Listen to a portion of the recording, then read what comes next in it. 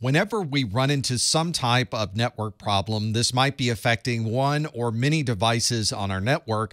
We want to try to resolve this problem as quickly as possible. Before we start modifying any type of configuration, it's best to understand exactly what we're working with. So you may want to log into your switch, your router, or whatever device is having a problem and look at the configuration of that device. You may do this through a web-based console or there might be a command line that you use via SSH.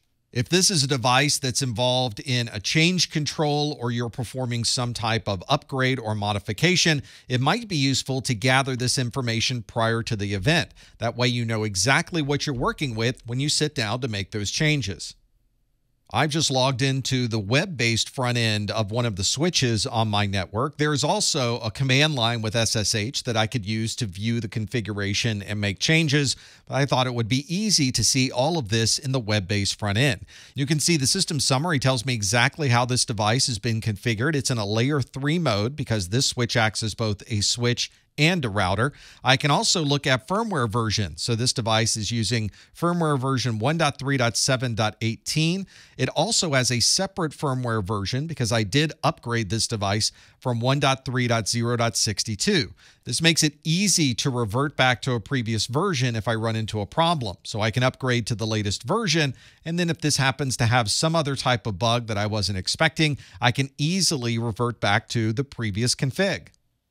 If you're working with layer 3 devices, then you're dealing a lot with routing tables. Routing tables are a way that your device knows where it should be sending traffic. As traffic is inbound to this layer 3 device, the destination IP address will be examined and compared against the routing table. That routing table will then either forward that traffic to the next hop or drop that traffic because there was no entry for that destination in the routing table.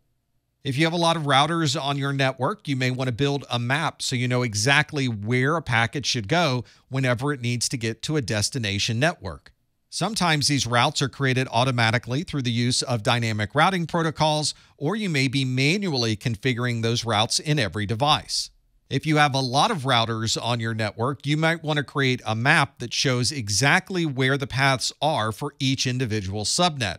This way, you'll be able to map out where traffic should go, and you can confirm that based on the routing tables in each of those routers. This is a key troubleshooting step if you're running into a routing problem. You not only need to track every router as the traffic is outbound, you also need to make sure that your routing tables are correct for the inbound traffic as well. If you're configuring static routes in a device, it's very easy to accidentally create a loop. You might tell router A to send all traffic to router B, and then you might accidentally tell router B to send all traffic to router A, and then that traffic simply loops around until the time to live is expired and those packets are dropped from the network. You also want to be sure you're not missing any routes, so make sure that you not only map the outbound routes, but also all of the inbound routes. Let's look again at this switch that I'm running in my studio, which also acts in layer 3 as a router. I see three individual static routes in this device. We have a network 10.1.10.0 and a network 10.1.20.0 that are locally connected to this device, so no route is needed. But I did add a static route for everything else. This is the default route of 0.0.0.0, which means anything that doesn't match all of the other destinations in this routing table would be routed to the next hop, which is 10.1.10.1.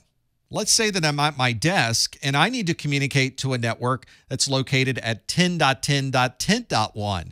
You can see that 10.10.10.0 is not listed in this network list, which means it's going to follow the default route of 0.0.0.0. That means I'll need to look at the routing table that's at 10.1.10.1 to see what the next hop might be. Here is the Comcast Business Gateway that acts as my 10.1.10.1 network. And you can see there is a list in its static routing table of 10.10.10.0, which is my house network. And you can see that the gateway IP or next hop address for that network is 10.1.10.211. Now I would go to that next hop along the way to determine where the proper routes would be from that device. You would follow this path through all of the routers on your network to confirm that all of your static routes are configured properly. If you're having problems with a single device communicating on the network, then it might be useful to understand how that single interface is configured on your switch or on your router. So you may need to refer to all of the different settings for that individual interface on that device. The first obvious step is to check for connectivity. Is there a link light? Is traffic passing through the device? And if it is, you can then look at the individual configuration settings for that device and make sure there's not a duplex mismatch or an issue with the speed settings.